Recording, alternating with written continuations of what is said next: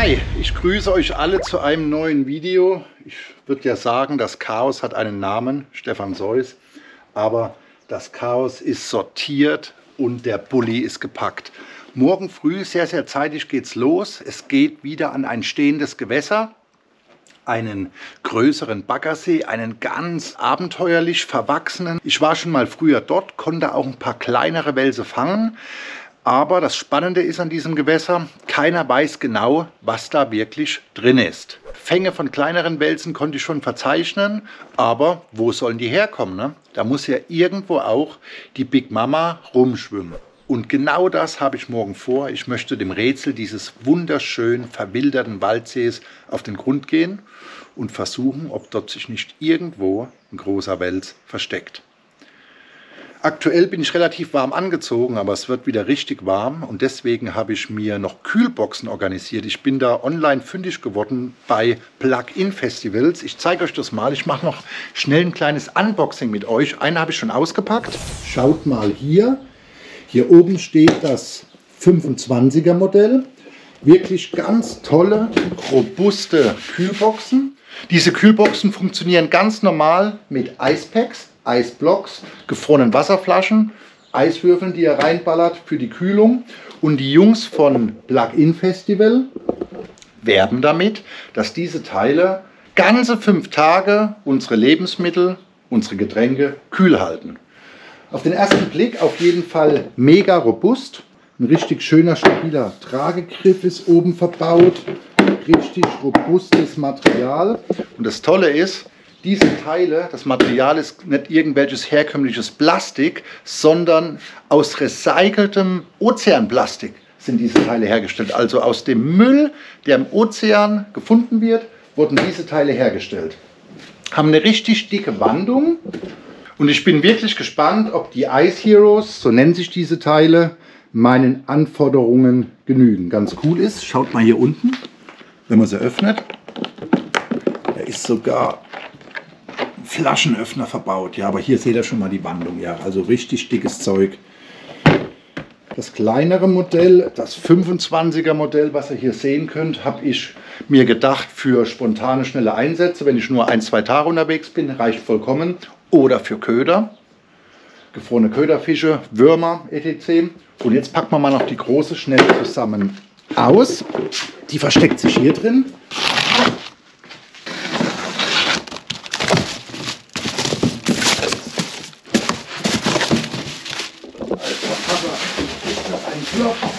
Wahnsinnsgeschoss.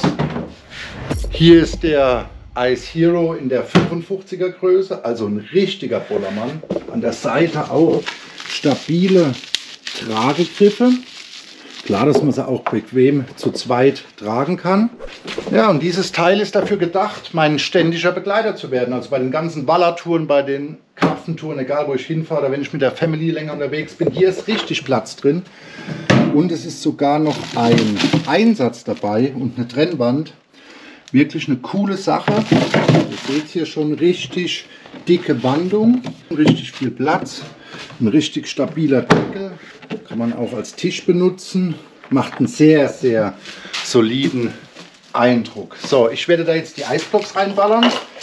Habe ich mir auch bei Plug-in Festival gleich mitbestellt. Passen noch ein paar mehr rein. Dann auf jeden Fall schön mit Lebensmitteln und Getränken vollballern. Dann bin ich echt mal gespannt, ob das Teil das hält. Fünf Tage Kühlung was es verspricht. Ein kleiner Trick auf diesem Wege, ihr könnt natürlich auch gefrorene Wasserflaschen reinschmeißen. Das mache ich sehr oft. Trinkwasser braucht man sowieso. Ich friere mir dann diese Trinkwasserflaschen ein, baller sie mit rein, dienen dann gleichzeitig als Kühlakku und wenn sie irgendwann aufgetaut sind, könnt ihr sie trinken. Ja, das Ding krachen wir jetzt voll mit Lebensmitteln. Schaut auf jeden Fall mal in der Videobeschreibung, da verlinke ich euch die beiden Kühlboxen. Natürlich mit einem Rabattcode, falls ihr auch auf der Suche seid nach einer nachhaltigen, extremen, sehr robusten und meiner Meinung nach auch sehr stylisch aussehenden Kühlbox. Und wie ich euch kenne, eurem geschulten Auge entgeht ja nichts. Nebendran laden gerade meine neuen Live Pro 4 Akkus von Lime USB. Ich habe da einen ganz spannenden Hersteller online gefunden, der wirklich zu günstigen Preisen diese Lithium-Iron-Phosphat Batterien anbietet. Ich habe mir hier einmal das Modell mit 100 AH bestellt und einmal hier noch nebendran das Modell mit 50 AH. Das können wir auch noch schnell auspacken. Muss ich noch schnell auspacken, denn ich will es ja morgen mitnehmen. Auf den See dürfen wir mit dem E-Motor drauf und da ist es natürlich das perfekte Testgebiet. Ich war jetzt schon lange auf der Suche und sicherlich auch sehr interessant und spannend für euch, denn viele von euch setzen ja einen E-Motor ein, aber das teuerste am E-Motor sind meistens die Lithiumbatterien. Ihr könnt natürlich auch eine normale Autobatterie dranhängen, aber das schleppt ihr euch zu Tode und habt kaum Leistung. Und irgendwann nach mehreren Ladevorgängen geben diese Batterien Geist auf und ihr produziert Müll. Und diese Light-Pro 4 Akkus wiegen so gut wie gar nichts. Hier ist die kleine, die hat 50 AH. Und daneben die große, die hat 100 AH. Und damit habt ihr natürlich richtig Power. Ja? Und ich möchte dann mal gucken, die günstigeren Modelle auch das können, was so ein teures High-End-Modell kann. Und ganz spannend ist natürlich, weil ja viele von euch dann immer sagen, ja, nur für einen E-Motor ist es mir zu schade. Ich habe mir noch dieses Battery Socket Outlet T1 bestellt. Das ist eine ganz spannende Geschichte, denn ihr könnt mit diesem Gerät, Verkabelungen sind alle dabei, problemlos auch die Batterien nutzen, um eure Verbraucher zu laden. Ja. Es sind USB-C-Anschlüsse dabei, normale USB-Anschlüsse, ein stärkerer und schwächerer, Zigarettenanzünderanschluss. Kann ich ganz einfach mit der Verkabelung hier im Karton mit den Batterien verbinden. Und dann habe ich eine am E-Motor und eine im Bulli stehen, um Handy, Laptop, bla bla bla laden zu können. Eine coole Sache und auch hier bin ich mal gespannt, was die Teile können. Und auch hier findet ihr natürlich in der Videobeschreibung einen Direktlink dahin, falls ihr auf der Suche seid nach relativ günstigen, aber trotzdem soliden Lithium-Iron-Phosphat-Akkus für euren E-Motor, Camping, Wohnmobil, alles überall, wo man eigentlich Strom braucht, wenn man unterwegs ist. So, die werden jetzt aufgeladen, dann wird der Rest in den Bulli reingekracht. Die Routen müssen noch rein, die stehen hier alle. Und dann sehen wir uns morgen früh wieder. Und dann bin ich wirklich gespannt, ob wir an dem Waldsee, gibt keine richtigen Infos für uns Welsangler, ob dort große Fische unterwegs sind, einen Baller abholen können. Bis morgen früh auf der Bahn.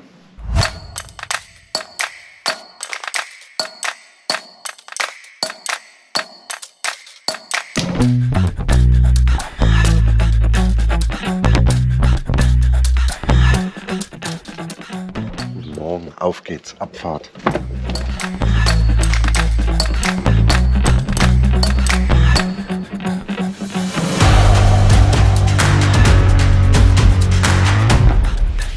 Einen wunderschönen guten Morgen euch. Ich komme gut durch. Straßen sind frei. In guten zwei Stunden kommen wir am Zielgewässer an. Wetter ist etwas durchwachsen, aber das kann auch ganz gut sein nach der langen anhaltenden Hitze hier. Finny hat es natürlich wieder am besten. Die pennt noch. Ja, und ich werde jetzt in aller Ruhe frühstücken und mir ein Y-Food Cold Brew Coffee Achtung, reinziehen. Die Route enthält Verkehrsstörungen. Ah, da kommt schon wieder die Hiobsbotschaft Stau. Wir sehen uns gleich am Wasser und dann schauen wir mal, ob wir das Geheimnis des verborgenen Waldsees lüften können. Wer weiß, was sich dort versteckt.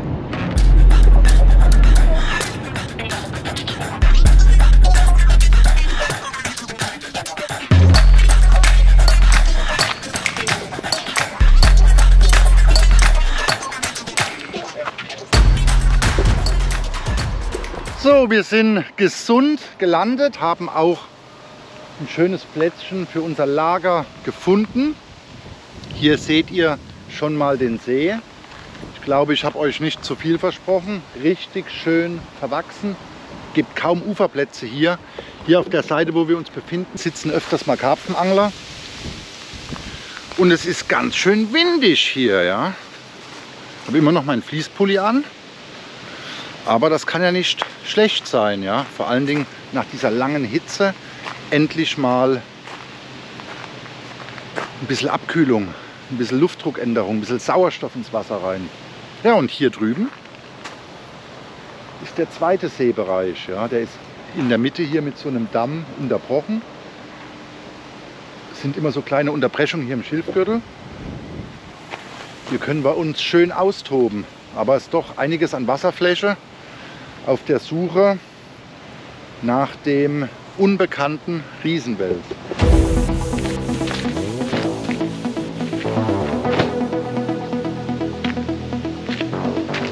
So, jetzt heißt es natürlich erstmal rödeln, alles aufbauen, alles vom Auto hier runter ins Wasser schleppen. Das Boot habe ich schon startklar gemacht. Ich habe hier ein altes Boot liegen, habe meine beiden Batterien schon reingesteckt, Motor angeschlossen. Alles funktioniert. Bin mal gespannt, was die Teile können. Auf jeden Fall kein Gewicht und eine mega Leistung. Habe jetzt 150 AH auf dem Boot drauf. Ja? Also das sollte auf jeden Fall reichen. So Fini, was sagst du? Hä? Fangen wir hier in Wels. Ich war ja schon mal hier. Einige von euch erkennen vielleicht das Gewässer. Kleinere Wälse kamen beim aktiven Angeln. Und es ist auch ein sehr gutes Hechtgewässer. Bin sonst öfters mal hier zum Hechtangeln. Aber so richtig Ansitz, gezieltes Angeln auf große Fische mit Stellfischmontagen habe ich hier noch nie versucht. Das werden wir jetzt machen. Ich habe, wie gesagt, keine Infos, was hier möglich sein kann. Ich weiß bloß, kleinere Wälse habe ich schon gefangen und irgendwo werden diese wohl herkommen. So, wir bauen jetzt in aller Ruhe alles auf, schauen dann später mal über die Montagen drüber und beginnen mit dem Auslegen. Vielleicht gehen wir auch erstmal aktiv raus, im Echolot gucken, vielleicht ein bisschen klopfen, mal sehen. Ich warte jetzt noch auf meine Mitangler, Thomas und Christian. Die beiden Jungs begleiten mich jetzt bei der Tour. Christian, eine ganz lustige Geschichte, hat es von seiner Frau, glaube zum Geburtstag geschenkt bekommen oder zu Weihnachten, ich weiß es nicht genau. Es war eine mega Überraschung für ihn, er schaut sonst immer meine YouTube-Filme und die Frau musste wahrscheinlich mitschauen und da hat sie sich gedacht, ich kontaktiere mal den Stefan, hat mich angerufen, habe ich gesagt, klar, ich nehme den jungen Mann mal zwei Tage mit, so wie eine Art Workshop, ja, freundschaftliches Angeln, der freut sich mega, die sind unterwegs. Ich bereite jetzt schon mal soweit das Camp vor und dann lernt ihr die beiden Jungs auch kennen.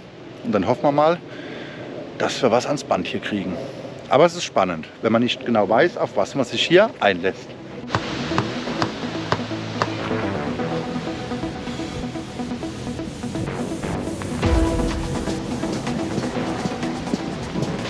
Thomas ist angekommen und mit ihm das nächste Unwetter.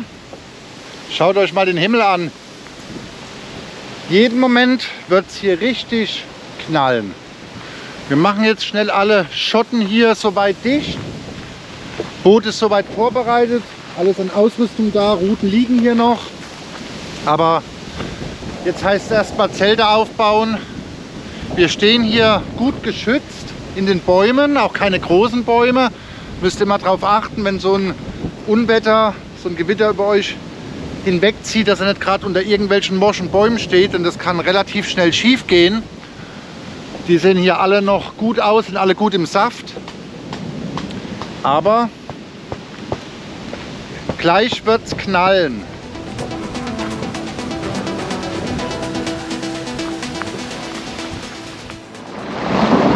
Alter Falter, also es ist immer noch mittags, aber ich musste mich jetzt mal kurz ins Zelt flüchten. Im Zelt ist natürlich mega dunkel.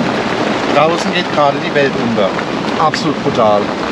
Ich habe es euch eben noch angekündigt, im nächsten Moment kompletter Dauerregen, Donnergrollen. Ja, vielleicht Ballerwetter. Aber jetzt müssen wir mal eine kurze Pause hier machen. Wirklich verrückt. Wirklich verrückt. Knallt richtig da draußen. Gucken mal, ob ich euch das zeigen kann. Zieht vielleicht gleich durch. Aber richtig Alarm. Zum Glück alles in wasserdichten Taschen verpackt. Das ganze Tackle steht noch draußen. Wahnsinn, Wahnsinn. Aber die Zeit können wir uns nehmen. Ist lange hell jetzt im Sommer. Kein Stress. Und bei dem Wetter draußen auf dem See ist eh Blödsinn. Fini? Alles gut? Ja, hat vor nichts Angst, aber vor Gewitter nicht so. Der aktuelle Film wird von folgenden Angelläden präsentiert.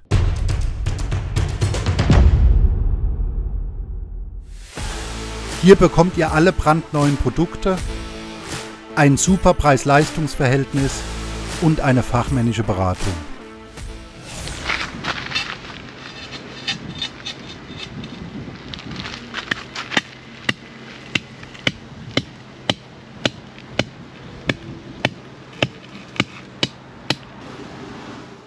Teile kriegt ihr überall rein, selbst in Spanien, im Geröll, in den Felsen. Vollmaterial, Edelstahl.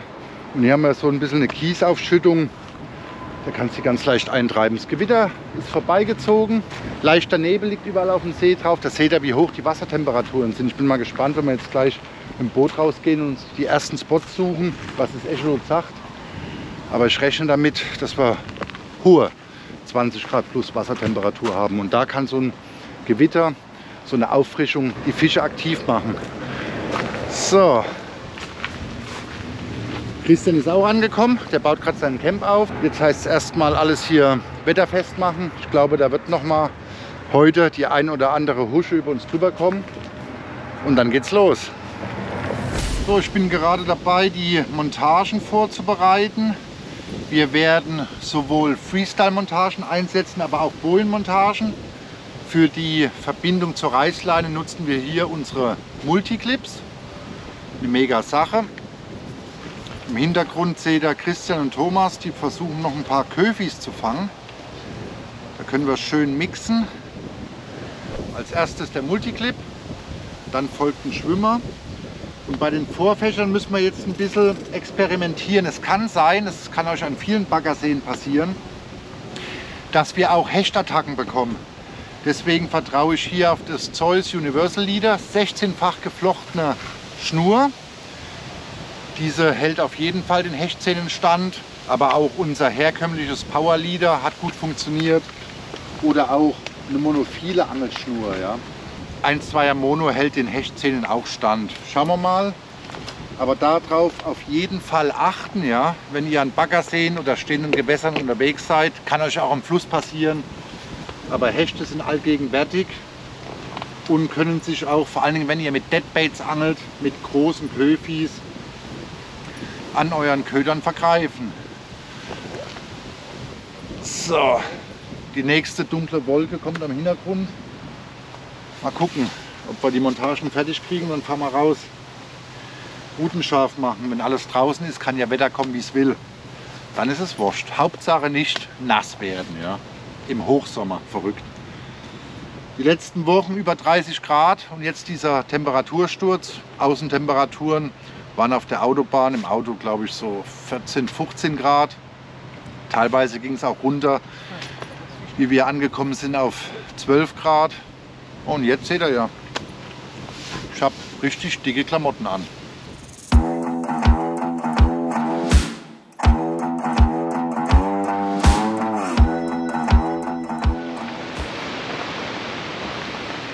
Schon wieder hockt man in der Hütte.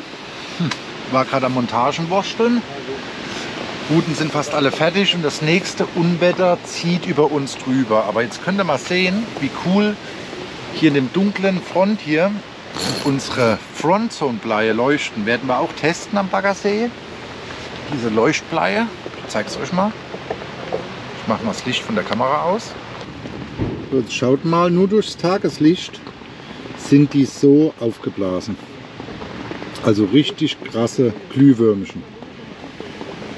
Das werden wir jetzt noch montieren. Seht ihr mich? Warte, ich mache das Licht mal wieder an. Und dann fangen wir an auszulegen. Ich wollte eigentlich noch ein bisschen aktiv rausgehen. Erstmal jetzt, bevor es dunkel wird. Wird noch lange dunkel. Wir haben jetzt 14.45 Aber was ein verrücktes Wetter.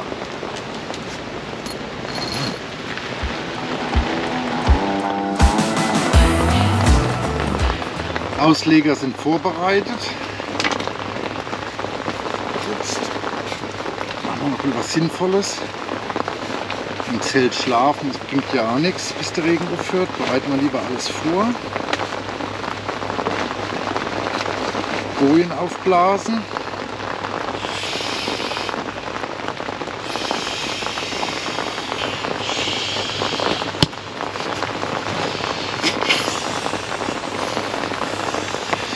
Unglaublich das Wetter, wirklich unglaublich. Aber da hinten, da hinten kommt die Sonne raus.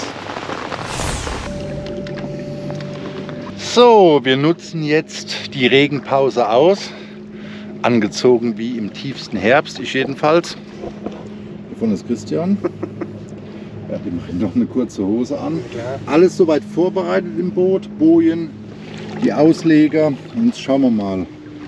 Der See fällt auch relativ tief ab. Also wir haben jetzt hier schon fast 8 Meter. Ihr seht ja überall Kleinfische rumwuseln. Und wir werden jetzt mal ein bisschen pokern in der ersten Nacht. Wir werden auf jeden Fall eine an dem gegenüberliegenden Ufer Freestyle anbieten. Vielleicht einen Köder richtig in die Mitte über eine Bohlenmontage setzen und einen Köder hier drüben an dieser Halbinsel, sage ich mal, die überall diese Durchbrüche hat, präsentieren und dann mal schauen, wo Aktion kommt.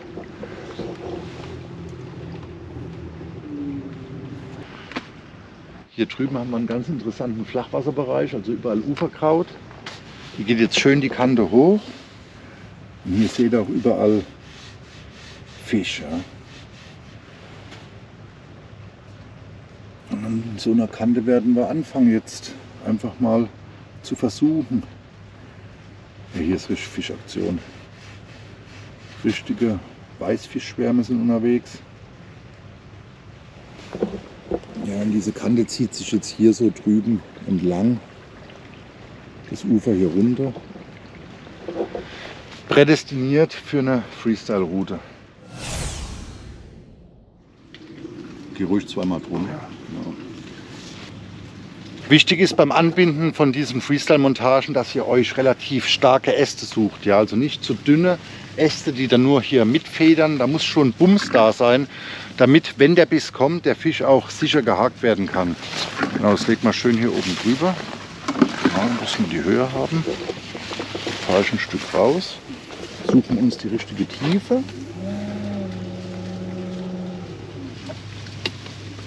Hier fällt es langsam ab. Hier seht ihr überall auch wieder Kraut im Uferbereich. Also definitiv ein Platz, wo das Futter sich hinstellt. So, hier fällt die Kante jetzt runter.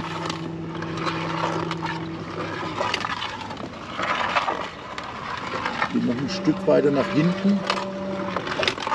Nicht, nicht ganz ins Flache. Hier kommt noch ein bisschen Kraut jetzt hoch. Hier kommt noch mal Kraut hoch.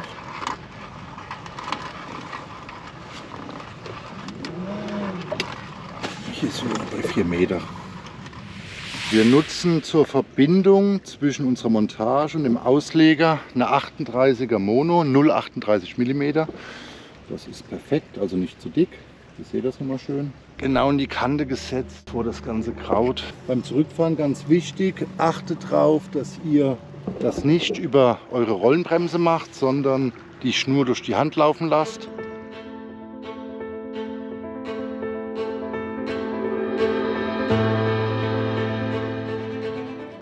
Unsere zweite Montage werden wir jetzt hier an dieser Uferkante präsentieren. Aufgrund des Winkels zum Angelplatz werden wir jetzt hier eine Boje einsetzen.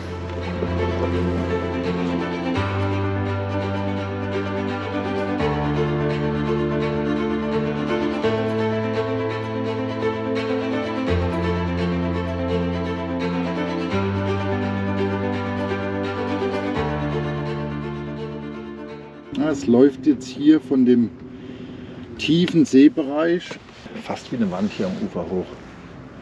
Und ich glaube, dass an dieser Kante, dass sich da was abspielen wird. Fisch ist auf jeden Fall unterwegs.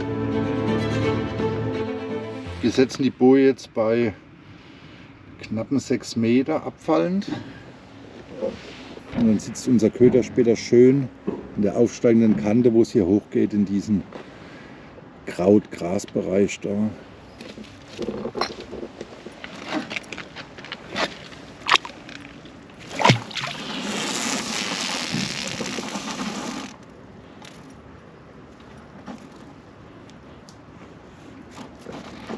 Nehmt auf jeden Fall mindestens 1-2 Meter mehr als die Wassertiefe, damit sich die Schnur zur Boje jetzt schön unter Spannung reinlegen kann, nicht zu viel Druck entsteht. Knapp über Grund ist unser Köder zur Boje hingestellt.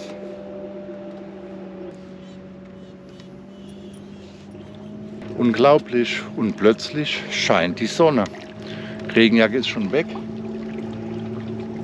Wahnsinn, wie das Wetter wechselt aktuell.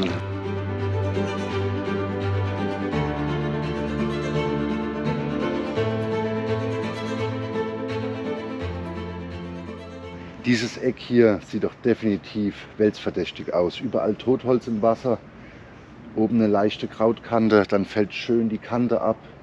Das Totholz ragt relativ weit ins Wasser rein. Ich habe meinen Ausleger jetzt hier hinten an diesem toten Baum befestigt. Bin genau vor die Kante vom Holz gegangen.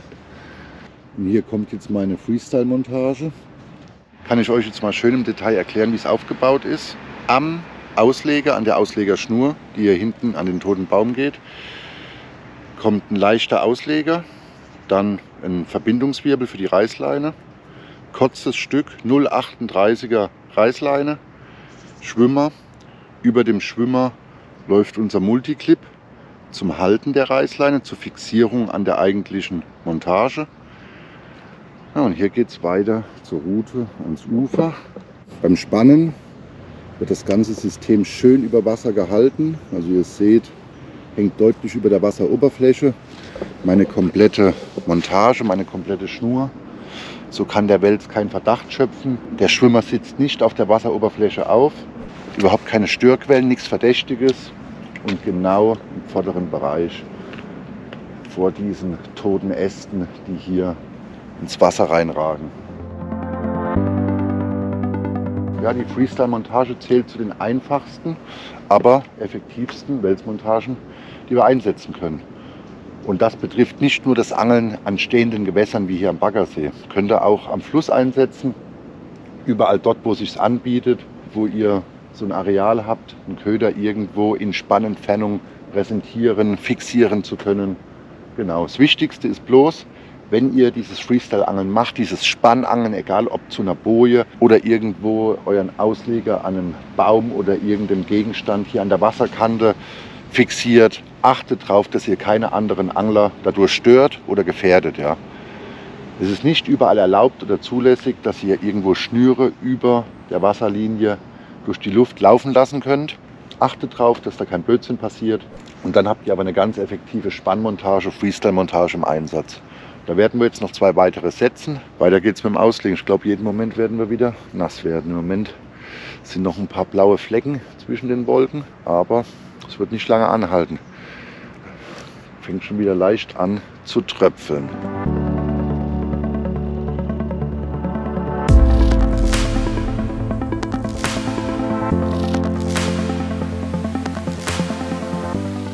Diese Freestyle-Montage haben wir direkt vor einem größeren Krautfeld präsentiert. Kommt auch noch ein alter toter Baum unten hoch. Und hier geht das Kraut direkt bis an die Kante, wo es tief abfällt. Zwischen den Krautgürteln sind überall so kleinere Unterbrechungen. Wahrscheinlich von Karpfen, ja, die diese Wege hier nutzen, um am Ufer hinten zu fressen.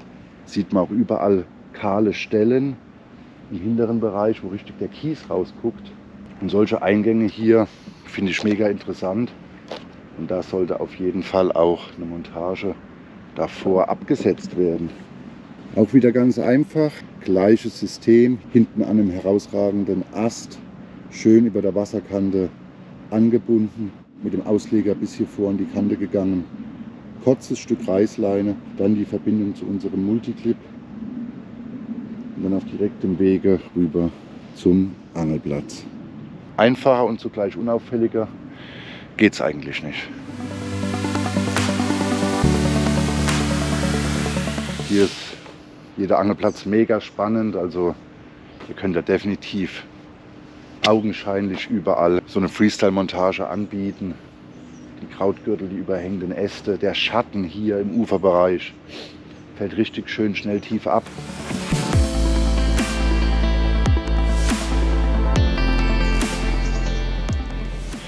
Je weiter weg ihr von eurem Angelplatz angeln möchtet mit dieser Freestyle-Montage, mit der Spannmontage, desto höher müsst ihr natürlich auch euren Ausleger auch anbringen, um die ganze Schnur auf der Entfernung noch aus dem Wasser zu bekommen. Da oben im Hintergrund seht ihr unseren Angelplatz. Das ist jetzt die weiteste Route, sehr weit weg. Und deswegen hier in Stehhöhe im Boot. Ich bin knappe 2 Meter, 1,93 groß und habe noch deutlich über meiner Körperhöhe, Körpergröße hier angebunden, also circa in der Höhe von 2,20 Meter, 2,30 Meter wird es sein. Da kann ich auf jeden Fall sicher sein, dass ich meine Schnur auch auf dem direkten Wege auch aus dem Wasser herausbekomme. Deswegen setze ich auch zur Fixierung der Reißleine, die ich später mit meiner Hauptmontage verbinde, diese ganz kleinen, leichten Ausleger ein. Vollkommen ausreichend, wenig Gewicht in der gespannten Montage, kann sie gut wiederfinden bei Nacht durch das Reflektorband. Einfach, aber effektiv. Und genau hier vorne im perfekten Winkel zu unserem Angelplatz ist eine sehr, sehr weit gespannte Route. Deswegen habe ich auch sehr, sehr weit oben angebunden, um die Schnur noch aus dem Wasser zu bekommen. Sitzt die letzte Montage, die weiteste Montage. Großer Baum kommt da übers Wasser. Perfekt zur Fixierung des Auslegers. Hier vorne kommt ein Krautfeld raus. Und genau in diesem Dreieck, in diesem Kessel haben wir unseren Deadbait präsentiert.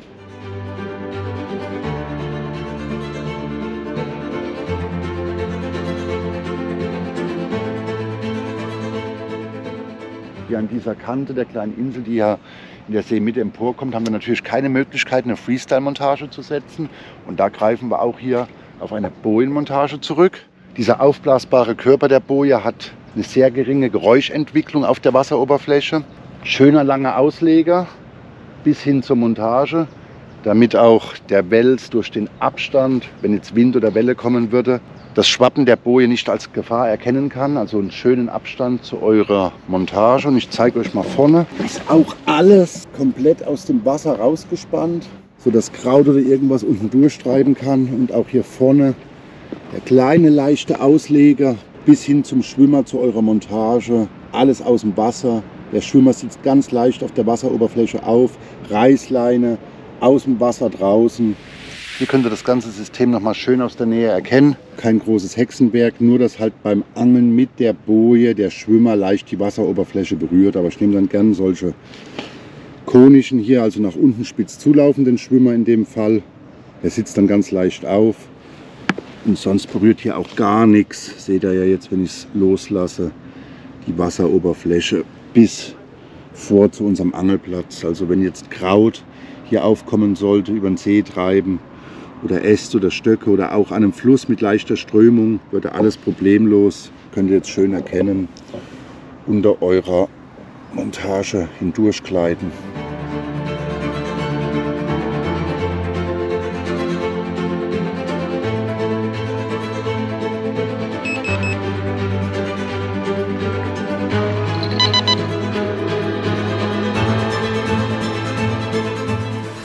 Eine Route haben wir noch und dann sind wir schon safe. Wir sind jetzt schon im zweiten Seeteil, haben die gleiche Taktik verfolgt wie auch drüben.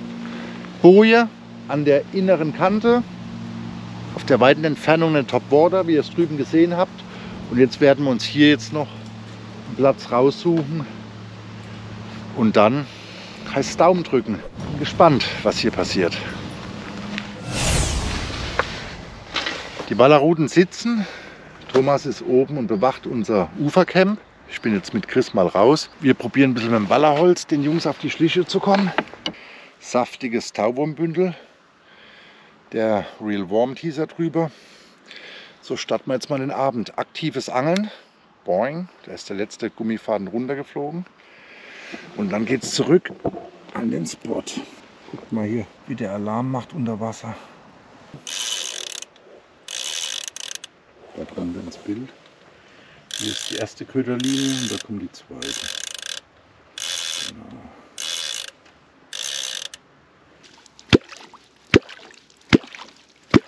Ja, müssen wir jetzt halt auf jeden Fall ein Bild testen. Aktives mit passivem Angeln ein bisschen switchen. Schaut mal hier auf dem Echolot, hier sind unsere Köderlinien. Und hier oben alles mit Futterfisch. Nach dem Wetterwechsel, nach dem Unwetter, ist richtig Leben im Wasser. Wassertemperatur 22 Grad, knapp 23 Grad.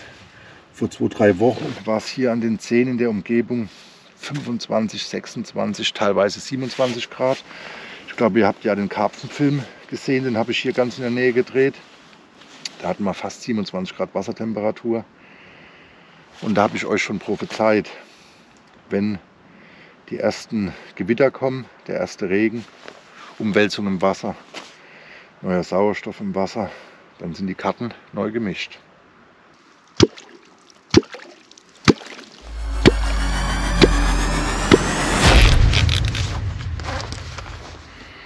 So, der erste Fisch ist am Band, wieder beim Klopfen, beim aktiven Angeln. Kuppeln, kuppeln, kuppeln, dass er nicht weggeht.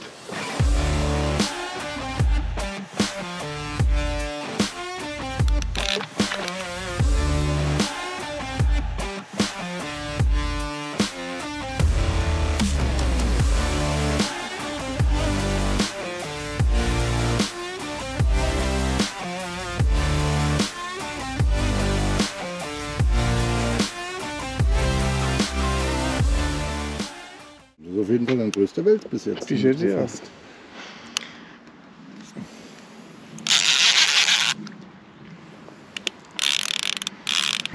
Da ist sie krumm, Yellow. Der Yellow Zauberstab.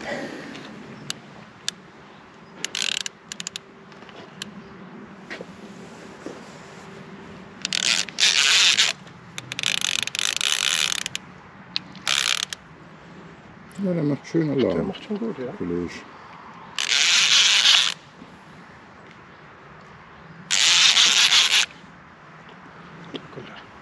Zweimal dürft ihr raten, auf welchen Köder. Werdet aber gleich sehen. Kommt er langsam. Uiuiuiui.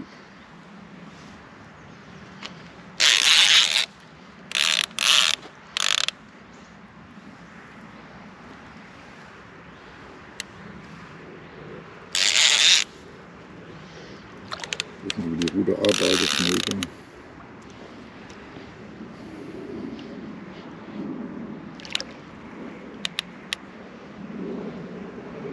Du nachgucken kannst noch. So. Der Real Worm Teaser hat wieder geliefert. Alter Falter. Vitrial. Petri, Dank. Vielen Dank, ey. Geil. Alter, genau. Petri. Da ist er, der Erste. Petri Chris. Dankeschön. Würmer am Real Worm Teaser. Aktives Angeln bringt uns den ersten Erfolg.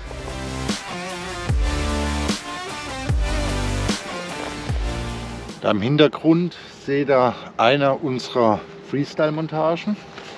Und in unmittelbarer Nähe konnten wir jetzt mit dem Wallerholz beim aktiven Angeln den ersten Fisch hier verführen.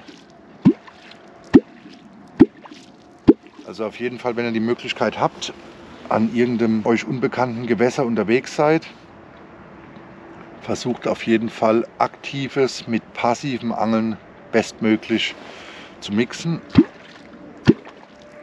Denn so kommt ihr am schnellsten zum Erfolg. So, wir werden jetzt noch mal versuchen, hier in den anderen Seeteil rüberzukommen. Es bringt nichts, in so stehenden Gewässern längere Zeit an einer Stelle hier rumzuklopfen.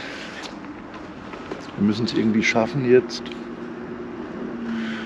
in den Bereich zu kommen, wo Fische sind. Und dann, wenn die Dunkelheit jetzt einkehrt, jetzt halb neun,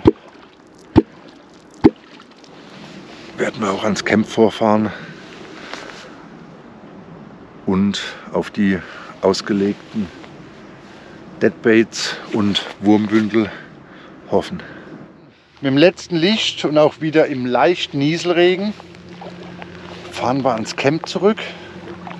Waren jetzt lange draußen, aber im Regen beim Klopfen Außer den einen Steiger war jetzt echt nichts mehr los, gar nichts mehr. Jetzt heißt es ans Ufer ran. Mal schauen, ob die Stellfischruten uns noch ein bisschen Glück bringen heute Nacht.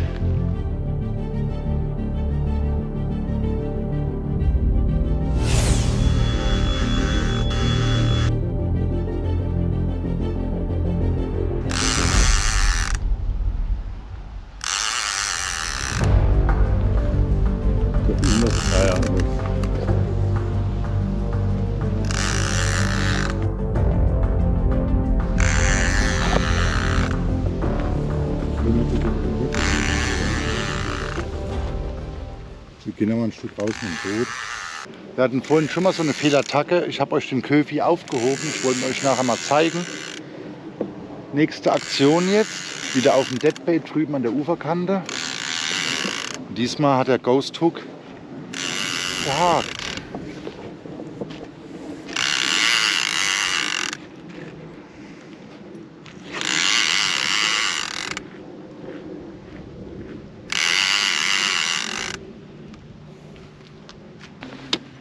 Mir professorisch mal einen Raubfischkescher mitgenommen. Aber ich glaube nicht, dass das Wels ist. Doch, Wels. Wels. Ich habe gedacht, es wäre ein Hecht. Kein Riesenwels, aber der zweite Fisch jetzt. Am ersten Abend hier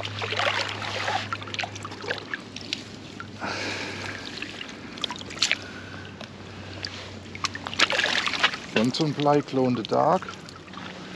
Hier unterm, unterm Kraut hängt.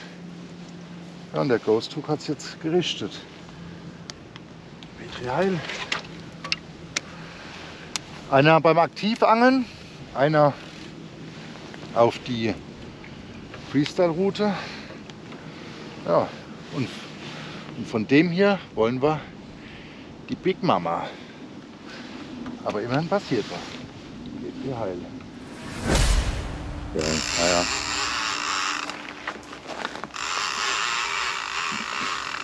Ist es so weit, war? Ja. Ist weit, ja.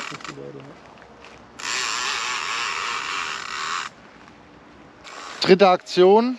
Der zweite Fisch, der jetzt hängt. Ja, Wenn es dunkel wird, kommen sie aus den Löchern und die passiven Ruden, die Ansitzruden, gehen krumm. Schlag schon, kommt schon.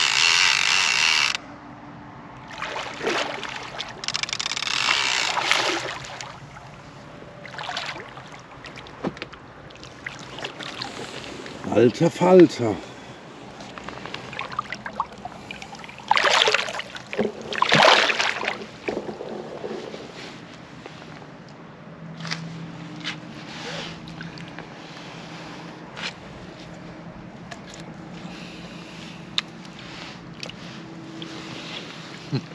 Petri Traum.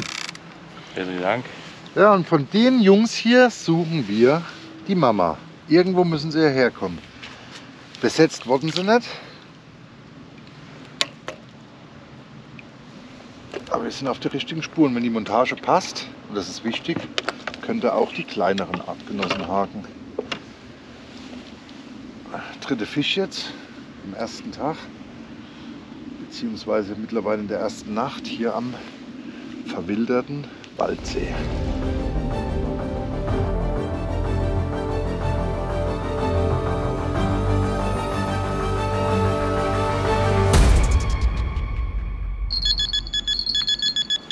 Also sensibler geht's definitiv nicht. Die Bissanzeiger sind der absolute Wahnsinn. So, die Routen sitzen alle wieder nach bestem Wissen und Gewissen. Wir haben kurz vor Mitternacht und sind auf jeden Fall auf der richtigen Spur. Auf der Suche nach dem Urwels hier vom Baggersee. Drei Aktionen hatten wir jetzt beim Ansitzangeln. Zwei Fische gefangen. Noch nicht die Riesen, aber Fakt ist, die Montagenhaken, alles passt. Und dort, wo ein kleiner Wels kommen kann, kann natürlich auch ein dicker kommen. Schauen wir mal, wie es weiterläuft. Was mich am meisten wundert, bisher keine Hechtattacken. Das erlebt man sonst oft am Baggersee. abwarten. Und morgen früh, ich habe es auf die Seite hier gepackt, zeige ich euch mal die verballerten Köder, wie sowas aussieht. Dass ihr definitiv erkennen könnt den Unterschied zwischen Hecht oder Wels. Bis später. Bis zum Biss.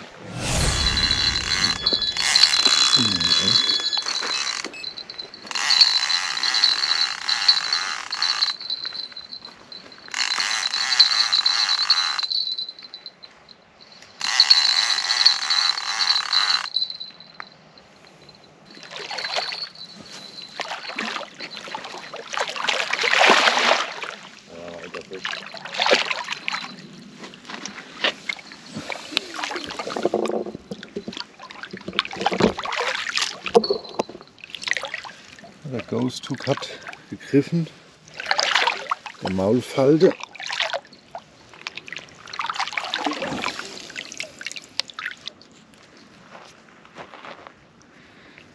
Vierte Aktion jetzt, dritter Fisch. Wo ist die Mama? Wir bleiben dran. Wir bleiben dran.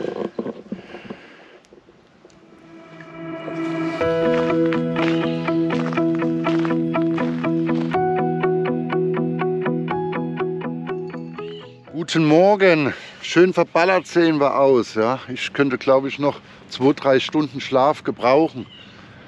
Leichter Nebel liegt auf dem See. Da seht ihr ganz deutlich, was die warmen Wassertemperaturen hier am Morgen ausmachen. Ne. Gestern Abend, wie wir hier noch am Werken waren, kam es einem vor wie in der Badewanne, wenn man dann sich mal die Hände am Wasser gewaschen hat. Also wirklich verrückt. Ja, und es hat, es hat gut gescheppert vier Fische gefangen. Den ersten gleich beim Aktivangeln in der Dämmerungsphase. Dann vier Aktionen auf die Bojen bzw. Freestyle-Montagen. Drei Fische davon gehakt. Nicht die Riesen, aber es war gut was los. Und wie sagt man so schön, da wo die Kleinen sind, muss ja irgendwo auch der Papa bzw. die Mama rumschwimmen. Aber es war schon sehr, sehr auffällig, die meisten Bisse nur in dem einen Seeteil hier. Aus welchem Grund auch immer. Entweder ist mehr Futter hier in diesem Seeteil oder waren sie gestern da einfach aktiver. Ja? Also die zwei Routen auf der anderen Seeseite drüben hatten keine Aktion gebracht und hier drüben hat es richtig gut gescheppert. Jetzt werden wir heute Abend ein bisschen was umstellen. Heute tagsüber gehen wir auf jeden Fall nochmal aktiv raus. Ich zeige euch nachher nochmal, ich brauche jetzt erstmal einen Kaffee, das Vorfach, was zum Einsatz kam und wie ihr es genau bauen könnt, also Ghost Hook und Einzelhaken, hat ja wirklich mega gehakt. Und was kleine Wälse sicher hakt, das hakt natürlich auch große sicher. Oftmals erzeugen diese kleineren Fische Fehlbisse. Und das soll natürlich nicht sein. Und mit dem richtigen Vorfach fangt er dann alle Kategorien. Und wir versuchen jetzt auf jeden Fall, gute 24 Stunden haben wir noch hier an diesem Gewässer.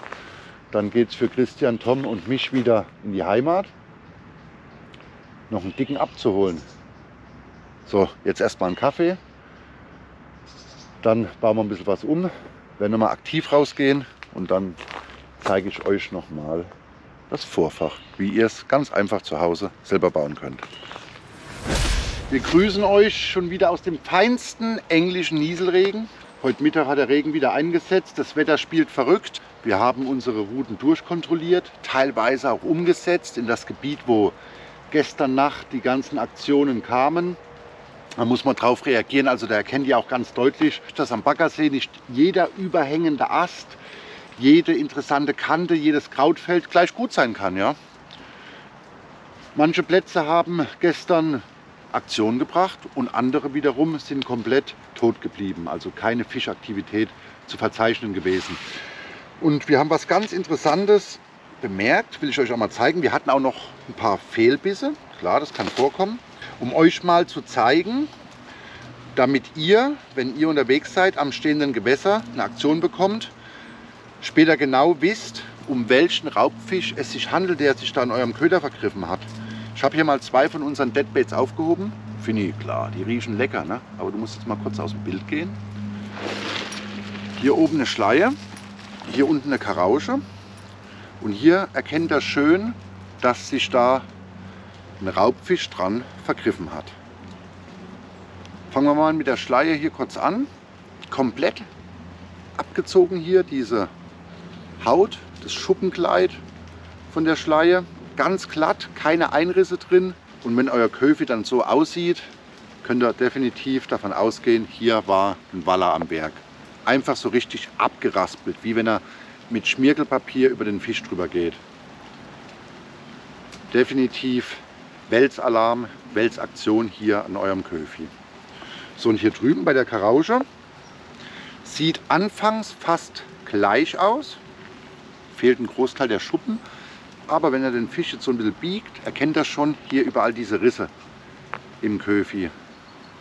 Und das sind Hechtzähne. Und das kommt immer wieder vor, sehr häufig beim Angeln in stehenden Gewässern. Kann euch auch am Fluss passieren. Aber an Baggerseen habe ich das sehr häufig, dass sich Hechte an euren Deadbaits vergreifen. Ja. Rute klingelt auch, kann man auch kurz runtergehen. In vielen Fällen hängt auch der Hecht dann sicher.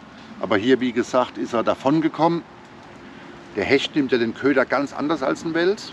Der Hecht packt auf den Köder, was hier der Fall war, beißt komplett drauf, schwimmt damit los, dreht ihn irgendwann und dann nimmt ihn richtig, fängt ihn an zu schlucken. Und das ist ja das beim Hechtangeln, wo es dieses alte Sprichwort gibt, fünf Minuten warten nach dem Biss oder wenn der Fisch nur abzieht, ist viel zu lange. Ja, vom Deadbaiten weiß ich das. Da könnt ihr teilweise auch komplett anschlagen, wenn er ihn richtig hat.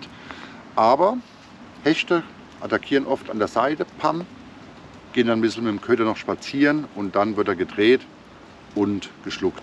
Und hier erkennt er ganz schön diese Hechtzähne, ja, diese richtigen Schnitte drin im Fisch. Da war er zugange.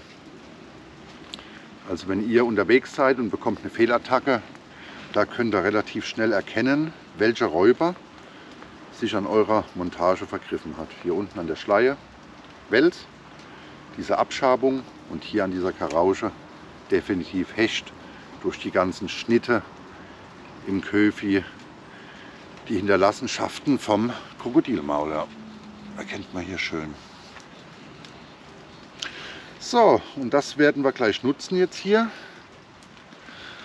Ich habe euch ja noch versprochen, euch zu zeigen, wie wir unsere Vorfächer hier bauen, bestehend aus dem Mega Hook und aus dem Ghost Hook und wie die Haken am Deadbait, am Köderfisch genau gesetzt werden, hier beim Angeln in stehenden Gewässern. Bauen wir mal schnell so ein Vorfach zusammen. Ich hole mir alles, was ich brauche. Ja, jetzt hat es wieder aufgehört zu regnen. Wirklich wechselndes Wetter, aber ich glaube gestern Abend bzw. gestern Nacht hat es also gut geraucht hier durch diese Luftdruckänderung. Ja? Wenn, wenn dann so eine Regenfront durchkommt, Gewitter durchkommt, da reagieren die Fische natürlich jetzt zur Sommerzeit besonders gut drauf. So, ich habe euch mal hier alles zusammengesucht, was wir brauchen für so ein perfektes Vorfach. Ihr braucht den Mega Hook, Größe 8.0 die Ghost Single Hooks in diversen Größen, je nachdem wie groß eure Köfis sind, die ihr einsetzen wollt. Vorfachmaterial, ich nutze sehr gerne hier dieses Zeus Universal Leader oder auch unser normales Vorfach, aber diese Schnur hier ist halt 16-fach geflochten und wie gesagt, es kann immer wieder vorkommen am Baggersee, dass Hechte drauf gehen und da auf jeden Fall auf gute, haltbare Komponenten achten oder ihr nehmt halt Mono-Vorfach. Aber am See wie gesagt, habe ich sehr gerne geflochten, weil es einfach weicher ist, weil es besser fällt, weil es einfach meiner Meinung nach besser hakt im stehenden Gewässer. Im Fluss, Mono, aber wie gesagt, das könnt ihr ja testen bei euch am See. Ich mag sehr gerne die geflochtenen Vorfächer. Ich ziehe mir da jetzt einfach easy going, sagen wir mal einen guten Meter 50 runter. ans Ende von eurem Vorfach macht ihr so einen kleinen Sicherungsknoten. Zack, ganz normaler Knoten. Jetzt nehmt ihr als erstes euren Ghost Hook. Ich nehme jetzt einen Ghost Hook in der Größe 7-0. Der Ghost Hook hat den riesen Vorteil, die meisten von euch kennen ja, dass ihr den an jeder beliebigen Stelle vom Köfi fixieren könnt durch diese Nadeln hier oben am Hakenschaft Mit dem Drilling habt ihr immer das Problem, den müsst ihr irgendwo durchbohren, wieder ausstechen. Der hängt dann irgendwie komisch am Köder. Und die Ghost Hooks könnt ihr halt ganz toll an einem beliebigen Ort vom Köfi fixieren. Und die stehen dann, jetzt zum Beispiel hier von der Schleier, ganz aggressiv seitwärts vom Köder ab. Ja. Ganz perfekte Parkeigenschaften verspricht es euch. Aber das zeige ich euch gleich. So, als erstes fixieren wir unseren Ghost Hook auf dem Vorfach. Hierzu gehen wir ganz einfach mit dem Schnurende eures Geflechts von hinten nach vorne durchs Hakenöhr durch und legen das Ganze, da müsst ihr darauf achten, mit eurem Sicherungsknoten vor den abgehenden Spitzen an. Jetzt nehme ich die Schnur und wickel die sechsmal zurück.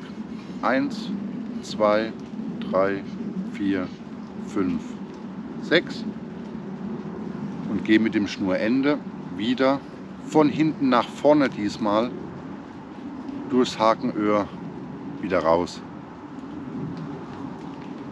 Das ist der sogenannte No-Knot. Kein Knotenknoten, nur durch Wicklungen, aber hält bombenfest. Ja. Um diese Wicklung schön ein bisschen abzuschließen, ein kurzes Stückchen Gummi drüber. Nehmen wir mal hier das dezente Braun. Brick Tube in der Stärke 3x6 mm. Schneide ich mir einfach ein kleines Stückchen runter. Ja, Fini, die Fini wartet schon, die will wieder raus zum Klopfen. Hat ja gestern in dieser Phase am späten Nachmittag auch super geklappt. Einfach draufschieben. Zack. Ein bisschen anfeuchten.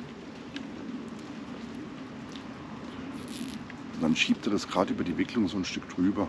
Das reicht schon, ja. Nicht zu weit, also nicht so, dass der Schlauch hier das Öhr übersteht. Nur, dass die Wicklung schön geschlossen, geschützt ist. Und so kann der Haken perfekt fallen, perfekt drehen. Später, wenn eine Aktion kommt. So, und jetzt kommt es darauf an, wie groß eure Köfis sind. Mit dem geflochtenen Vorfach habt ihr natürlich einen riesen Vorteil. Ihr könnt auch später noch euer Vorfach dem Köderfisch perfekt anpassen. Ich wähle jetzt ungefähr meinen Abstand zum Einzelhaken von ca. 20 cm.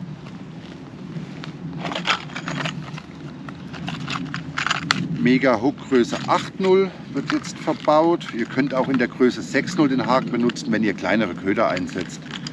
Wie gesagt, die Hakengrößen sind immer so ein bisschen abhängig von eurer Köfi-Größe. So, mit dem Einzelhaken geht er jetzt wieder gleiches Spiel. Von hinten nach vorne durchs Hakenöhr durch. Passt euch diesen Abstand jetzt erstmal an. Mit circa von 20 cm gesprochen.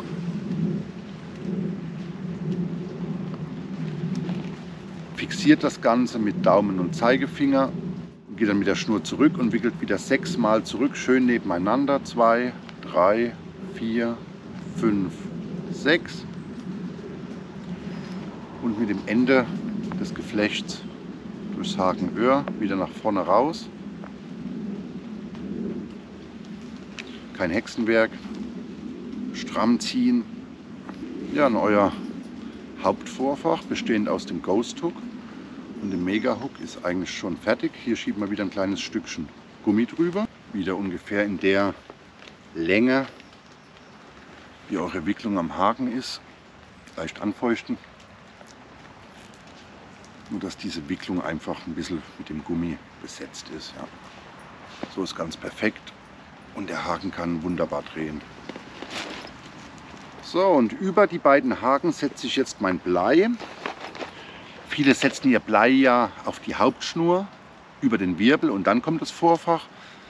Aber ich setze das Blei direkt aufs Vorfach drauf wieder circa 20 cm über das System, um meinen Köder exakt in dieser Tiefe präsentieren zu können, wo ich ihn haben möchte. Ja.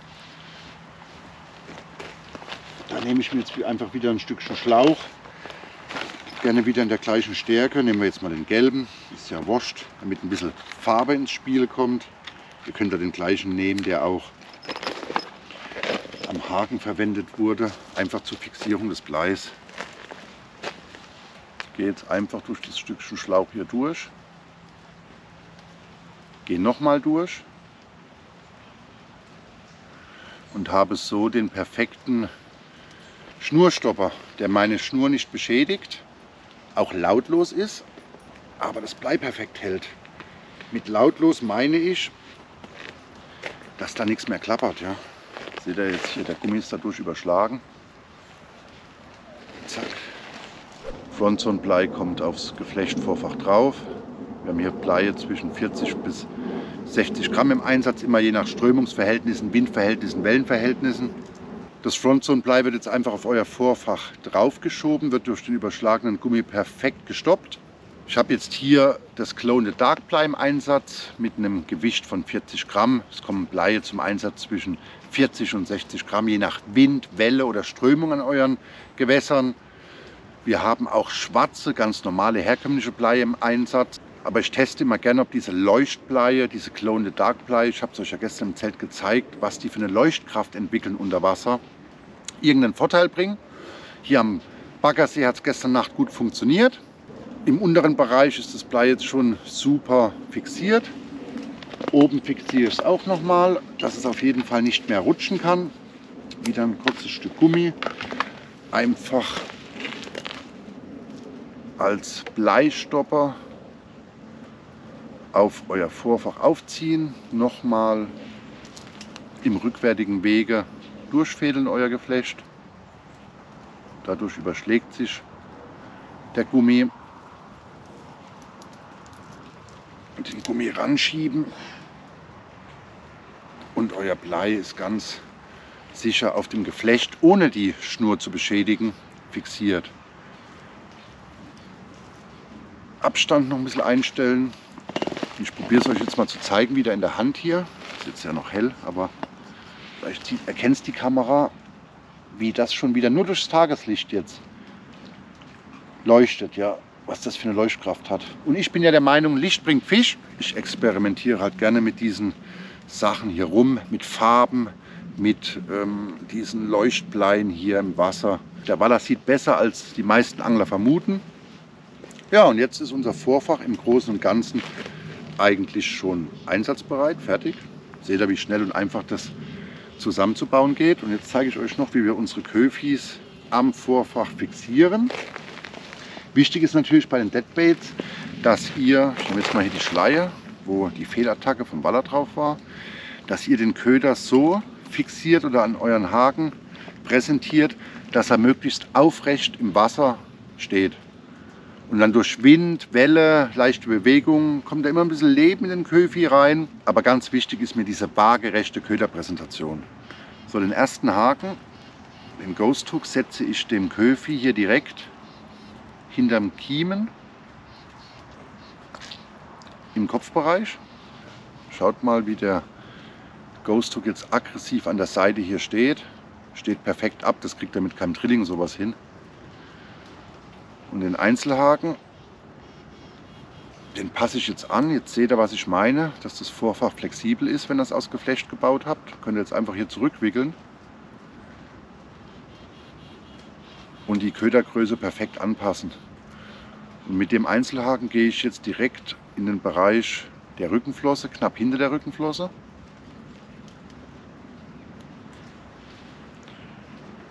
Und erreiche so eine sehr realistische Präsentation eures Köfis in eurer Montage. Beide Bereiche, sowohl der Kopfbereich als auch der Schwanzbereich, wo der Waller den Köfi angreifen wird, sind jetzt perfekt mit einem Haken ausgestattet. Ich vermute, dass der Wels jetzt hier in dem Fall an der Fehlbissschleie, so wollen wir es mal nennen, von vorne gekommen ist. Der Ghost Hook war auch rausgerissen aus dem Köder nach dem Fehlbiss, aber er war nicht gehangen. Ja.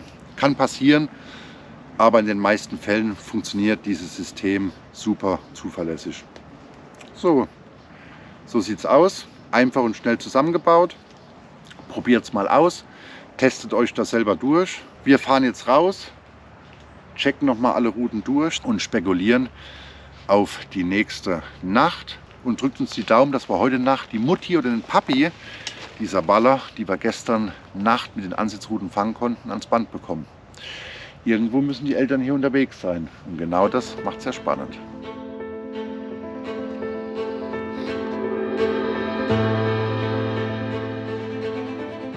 Also ich muss schon sagen, vom Test her, meine neuen Lime USB Akkus, bin ich sehr zufrieden damit. Ja. Der 50 AH Akku, die 50 AH Batterie hängt jetzt seit gestern Mittag dran, gute 24 Stunden.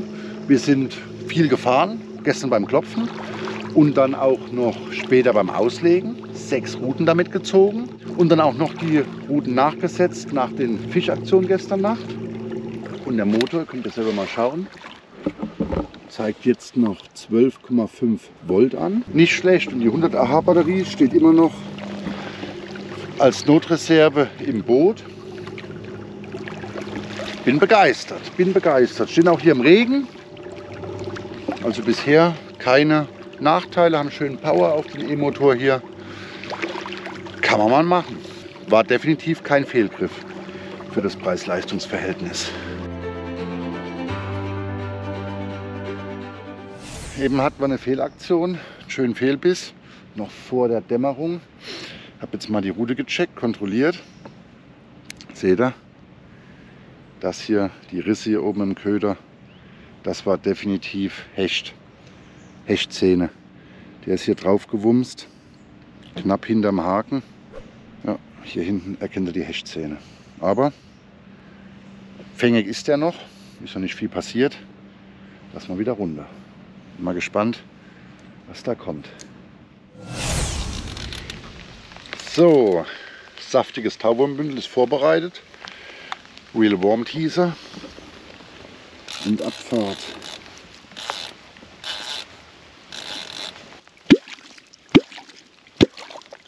Ja, mit der Regenpause, das war wohl nichts. Mal gucken, ob es im Regen auch klappt.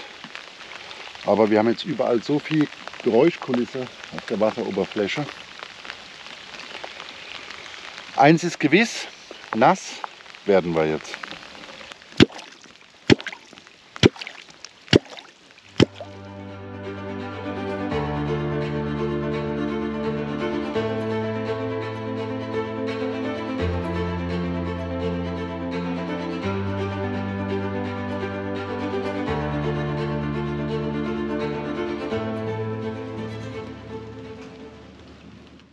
Regen bleibt heute unser ständiger Begleiter.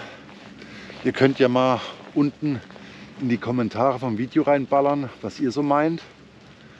Regen, Fangwetter oder eher kein Fangwetter. Ich bin mit so leichtem Nieselregen immer so ein bisschen zwiegespalten. Fakt ist auf jeden Fall, gestern um die Zeit hatten wir schon Aktion bei den Stellfischruten. Und bisher ist alles ruhig. Ja. So, jetzt machen wir uns noch was Gutes zum Essen. Und dann schauen wir mal in der zweiten Nacht hier am Baggersee, ob die Mama kommt. Oder der Big Daddy. Bis zum Biss.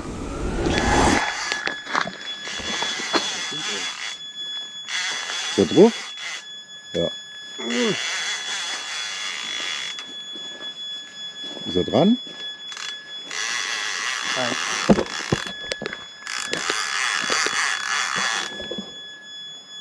Nichts von? Nein. Nein.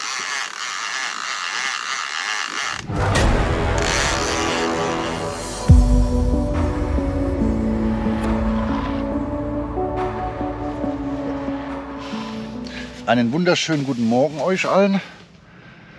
Es hat die ganze Nacht durchgeregnet. Jetzt im Hellwerden haben wir eine kleine Regenpause.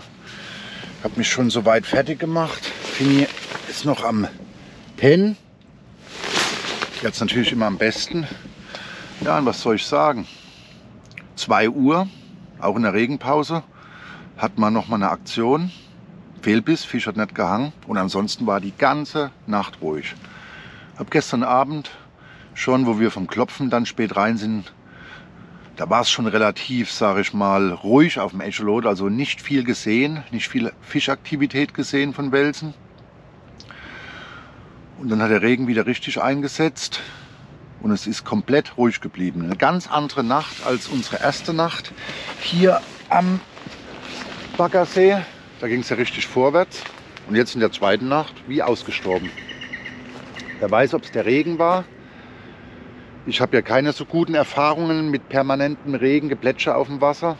Die Regenpausen waren dann oft gut, haben noch Aktionen gebracht, aber im Regen drin ist nicht viel passiert. Und das war heute Nacht genauso. Komisch, aber wahr.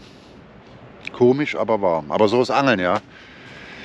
In der ersten Nacht, in den ersten 24 Stunden, fünf oder sechs Aktionen, vier Fische gefangen, ein aktiv, drei auf die Freestyle- bzw. Bojenmontagen. Und in der zweiten Nacht gab es einen Fehlbiss und das war es gewesen. Naja. Die Mutti der Urwelt, der große Don Papa, der war nicht dabei. Der hat sich gut versteckt, wenn er denn da ist. Aber das ist ja immer das Rätsel, das Geheimnis, was alles so spannend und interessant macht.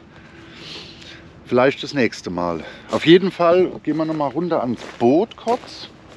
Ich habe ja noch zwei Neuheiten dabei gehabt. Einmal die Kühlboxen und einmal die Lithium-Batterien von Timeline USB.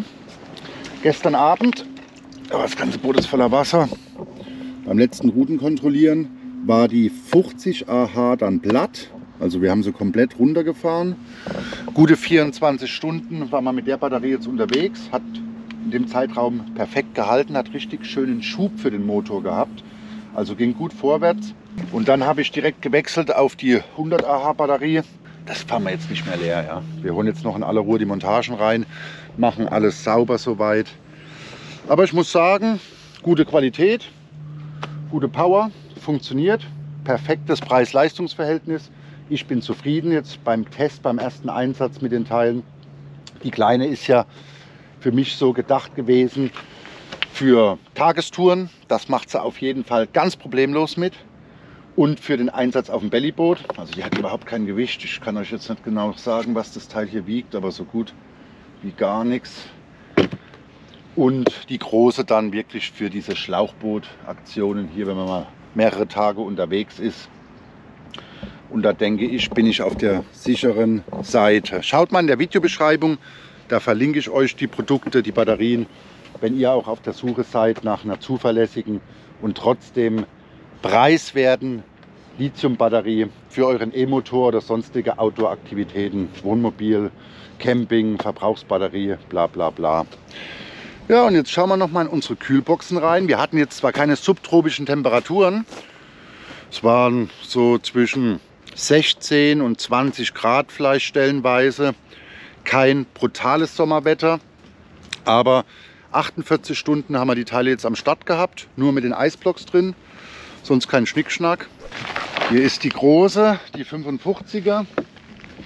Ja, hat ein Lebensmittel drin, Angelköder, alles Mögliche und alles hier eiskalt drin. Ja.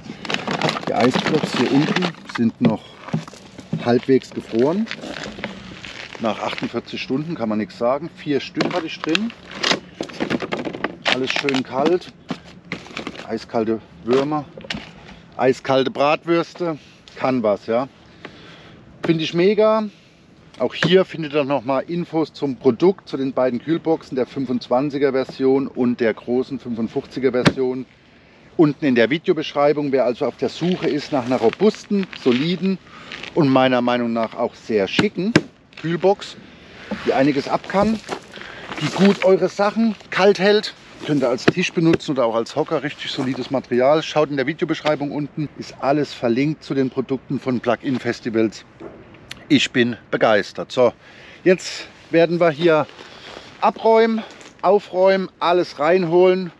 Und dann starten wir in das nächste Abenteuer. Ich hoffe, es hat euch gefallen. Probiert es mal aus bei euch, dieses Freestyle-Angeln.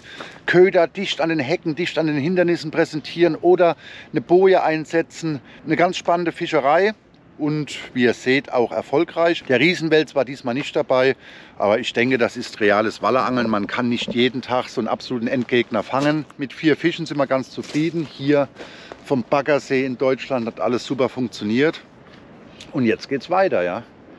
Weiter auf der Suche nach den großen Welsen hier in Deutschland. Wir sehen uns beim nächsten Video.